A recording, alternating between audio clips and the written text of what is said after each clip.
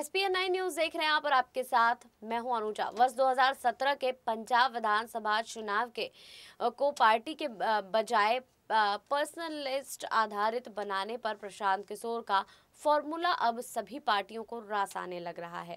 यहाँ तक कि पार्टी के प्रधान अब खुद की छवि ही इतनी बड़ी बनाए रखना चाहते हैं कि और कोई भी पार्टी का नेता उनके बराबर ना फटक सके।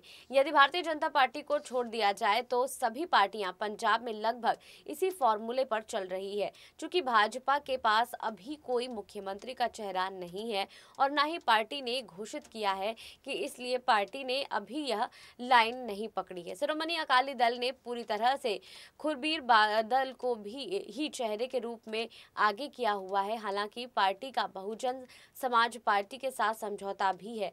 इसके बावजूद सब जगह खुरबीर बादल को ही आगे किया जा रहा है। बसपा की तो कहीं कोई बात दिखाई नहीं दे रही है।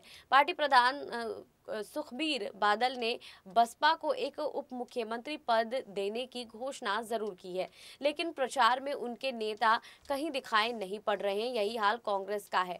चूँकि कांग्रेस की इस समय सरकार है, इसलिए मुख्यमंत्री चरणजीत सिंह चन्नी के ही पोस्टर्स और नारे नज़र आ रहे हैं। कांग्रेस का प्रचार मुख्यमंत्री चन्नी को ही चेहरा बनाकर आगे बढ़ रहा है। कांग्रेस ने नारों और पोस्टरों में चन्नी को ही प्रमुखता दी गई है। घर घर बीच चली है गल हल चन्नी करदा, मसले हल या पंजाब सरकार द्वारा हाल ही में लिए गए फैसलों के पोस्टर ही ज़्यादा दिखाई पड़ रहे हैं।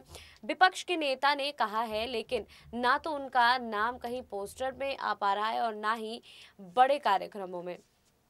प्रचार को यदि छोड़ भी दे तो हाल ही में प्रेस कॉन्फ्रेंस किया गया था और सरकार ने या तो पार्टी ने कोई बड़ी घोषणा कर दी, करनी हो तो जानने वाली प्रेस कॉन्फ्रेंस का चेहरा ही बदल गया था। बता दें, अब केवल एक ही कुर्सी लगाई जाती है और सारा फोकस उसी पर रखा जा रहा है। पिछले दिनों जब खुरबीर बादल ने पैच पिछले दिनों जब सुखबीर बादल ने अपने तेरह सूत्री कार्यक्रमों को लॉन्च करने के लिए प्रेस कॉन्फ्रेंस की तो केवल उन्हीं की कुर्सी लगाई गई थी और पूर्व मुख्यमंत्री कैप्टन अमरिंदर सिंह की प्रेस कॉन्फ्रेंस के दौरान भी केवल उन्हीं पर फोकस रखा गया।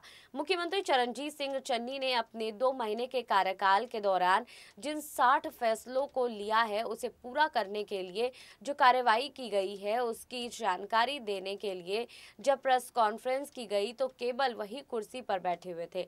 हालाँकि पंडाल में उप मुख्यमंत्री खुरजिंदर सिंह रंधावा व अन्य कई मंत्री भी मौजूद थे। आपको हमारी रिपोर्ट कैसी लगी, हमें कॉमेंट बॉक्स में लिखिए। बाकी और खबरों के लिए जुड़े रहिए एस पी न्यूज़ के साथ।